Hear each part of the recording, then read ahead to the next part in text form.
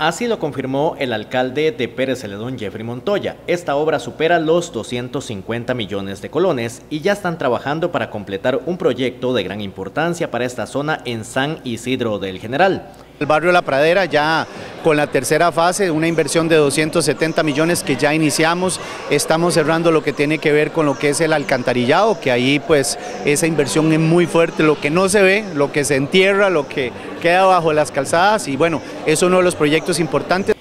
Mientras se completa la tercera fase en La Pradera, el proyecto de 8 de diciembre ya está listo. La espera de más de dos décadas de los vecinos de esta zona terminó y ahora Pérez Celedón ya cuenta con una ruta alterna para comunicar dos sectores como son El Ollón y Pedregoso.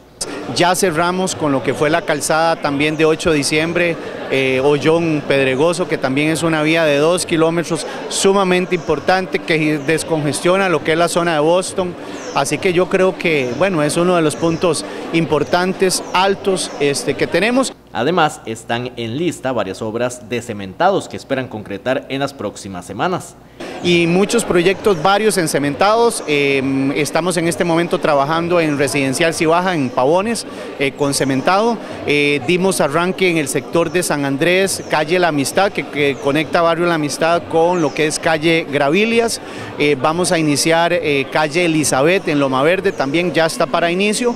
Y una callecita que conocemos como callecita de, de acueducto, la cancha de acueductos en el puro centro urbano también, que está en muy malas condiciones, que ya estamos prontos este, también iniciar. El puente de San Juan de Dios en Barú también está completo. Esta obra es uno de los grandes orgullos del Ayuntamiento Generaleño. Eh, muy contentos porque ya dejamos lista eh, la losa, el armado completo del puente de San Juan de Dios de Barú.